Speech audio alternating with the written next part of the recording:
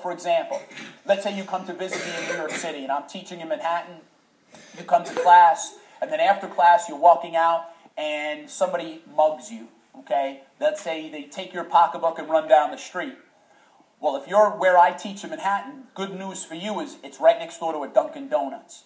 And who for sure is going to be inside that Dunkin' Donut?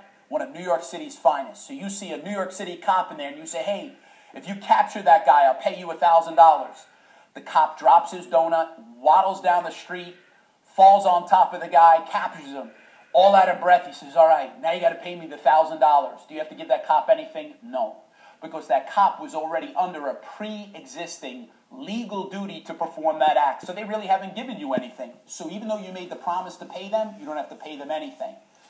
And don't write me letters about cops. I, I come from like, I got cousins, brothers, uncles, aunts. I, my, half my family's in the New York City police force, okay? So I, I can joke with them. But it's a true statement anyway. If you're in New York City and you're looking at Dunkin' Donuts, chances are you